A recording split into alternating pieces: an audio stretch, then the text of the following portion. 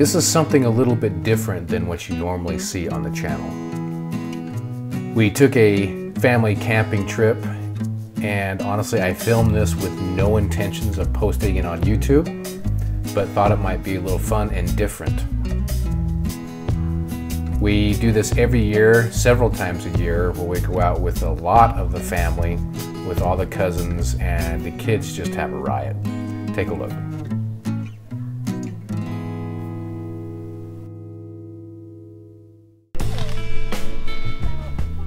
All the kids woke up early and the adults were sleeping in. My sister-in-law decided to take many of the kids away from camp and build a shelter.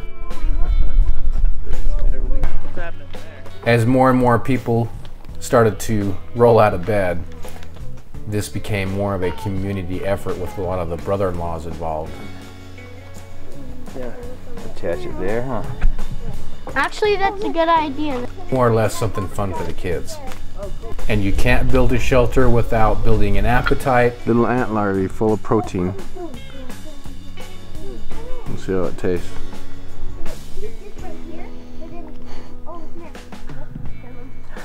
Not bad. Does it need a A1 sauce or is it just right? Mm, not too bad. yeah. yeah, that's what you're getting, little ant larvae. Yeah, I'm just gonna get a shot at it. Oh, cute. I think that one's name's George. this is the end of your life, George. I'm hey guys, sorry. Hey guys, I found a clean one. Look, oh my Make god. sure you chew them before you send them down. Wait, so I have to chew it? and Well, you don't want them like down there, like wrestling around. Okay. He'll swim around. Reproducing. Are you sure I should? multiplying. Okay. the ants are asexual. we just spontaneously. It's not bad, huh? Hmm? I'm gonna eat one. What's his name? That one's Sally. Hey, George. He's a real nine-year-old man.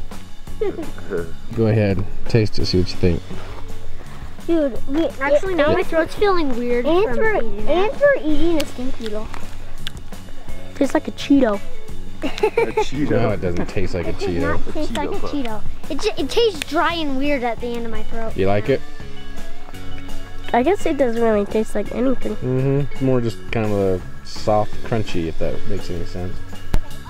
Now, throughout the trip, this little area continued to evolve with rope swings from an old retired climbing rope, and we had all kinds of fun with this as well as the kids. Sit on this rope. This rope, no, this rope, he like, he has to put his arms over it. Okay. And then here, that's the watch. Wait, where does he hold on to? Uh, and of course, no camping trip would be complete without a little hunting of some pop cans. One of the biggest benefits I see of camping is the ability to remove the kids from the normal day to day life and they get to really use their imagination. That's spider cage. Is that a spider cage? Yeah, And you're my it yeah. with the light blue shirt on? I do that so in the future we can identify who is who with my twins. That's a pretty cool spider cage. And then I don't walk towards it though. Yeah.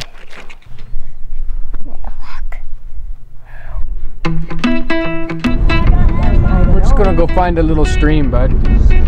We decided to give the kids a break from the midday heat, so we loaded them all up and took them on a short drive to play in a river.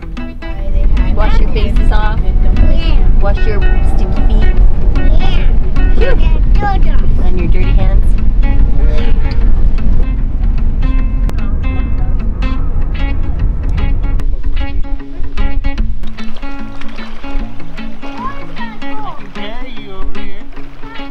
Now, this particular area that we go camping in, I've been since a child, and my wife and I have been regularly since even before our kids were born. So we know the area quite well and know where a lot of the fun spots are.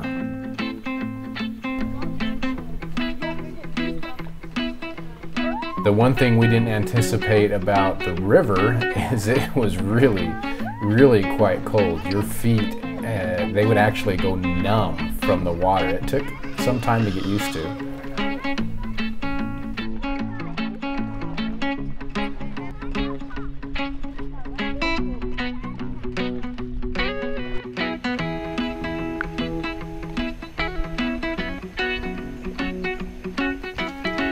But the kids adjusted. We played in the water for hours. We just had a lot of fun at it.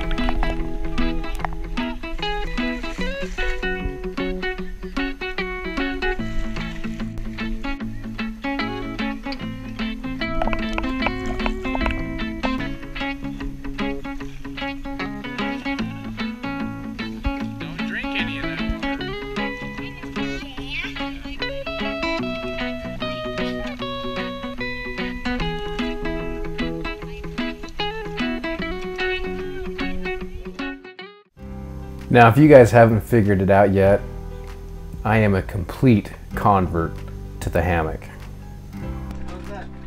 Another thing that goes on on these camping trips, the cooking. Oh man, do we eat like kings. Now, if you've never had a Dutch oven dinner, they are extremely good. As you can see here, this is cinnamon rolls, but the previous night we did make some chicken and vegetable.